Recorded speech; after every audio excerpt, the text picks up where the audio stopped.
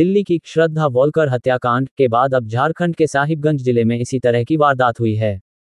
प्रेमी ने प्रेमिका की हत्या कर शव के तीस से ज़्यादा टुकड़े कर दिए। सबूत छिपाने के लिए आरोपी ने टुकड़ों को बोरे में रख दिया था। मुख्य आरोपी दिलदार सहित सात की गिरफ्तारी हुई है। मृतका ने प्रेम विवाह किया था और बीते कुछ दिनों से साथ में रह रहे थे। मृतका का नाम रुबिका पहाड़िन था।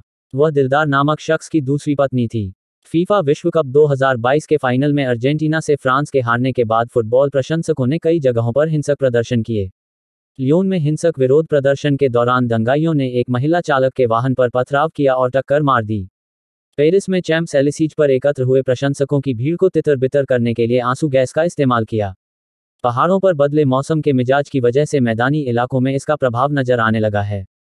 हरियाणा, दिल्ली के अलावा पंजाब, उत्तर प्रदेश, बिहार, झारखंड, मध्य प्रदेश, छत्तीसगढ़ और राजस्थान में भी तापमान गिरा है। कोहरा छाया है। दक्षिणी राज्यों में बारिश की संभावना है।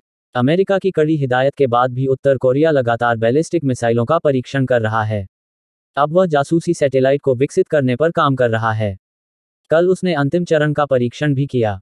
इस टेस्ट में एक मिसाइल को कृत्रिम उपग्रह ले जाने वाले करियर के तौर पर दागा गया। ट्विटर के मुख्य कार्यकारी अधिकारी एलोन मस्क ने माइक्रोब्लॉगिंग वेबसाइट पर एक पोल शुरू किया है जिसमें यूज़र से पूछा गया है कि क्या मुझे ट्विटर के प्रमुख के रूप में पद छोड़ना चाहिए। तेलंगाना में कांग्रेस पार्टी को बड़ा झटका लगा है। यहाँ हाल ही में गठित प्रदेश कांग्रेस कमेटी के 12 सदस्यों ने पद से इस्तीफा दे दिया है। सदस्यों की ओर से दिए गए त्यागपत्र में पार्टी नेतृत्व पर स्थानीय नेताओं को दरकिनार करने का आरोप लगाया गया है। आईपीएल 2023 के लिए मिनी ऑक्शन 23 दिसंबर को होना है, लेकिन तीन फ्रेंचाइजी ने मिनी ऑक्शन की डेट को आगे बढ़ाने के लिए कहा है। ऐसे में संभावना है कि बीसीसीआई यह तारीख आगे बढ़ा दे। इस साल बॉलीवुड की फ़िल्मों का बॉक्स ऑफ़िस पर मिला जुला असर देखने को मिला। ब्रह्मास्त्र, भूल भूलैया दो और दृश्यम दो को अगर छोड़ दें तो बाकी लगभग फ़िल्में कुछ कमाल नहीं दिखा पाईं।